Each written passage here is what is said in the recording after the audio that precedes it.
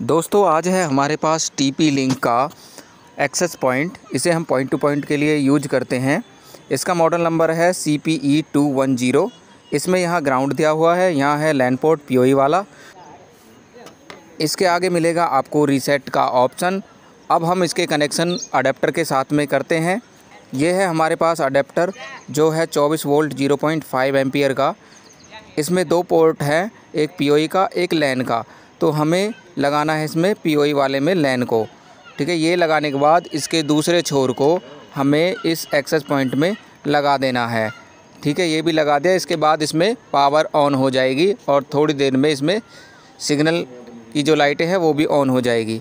अब हमें करना क्या है पीसी से एक लैन केबल लगाने दी है और इस लैन केबल को इस पी अडेप्टर में लगा देना है। अब कनेक्शन पूरा हो चुका है। मोर वीडियो के लिए चैनल को सब्सक्राइब कर।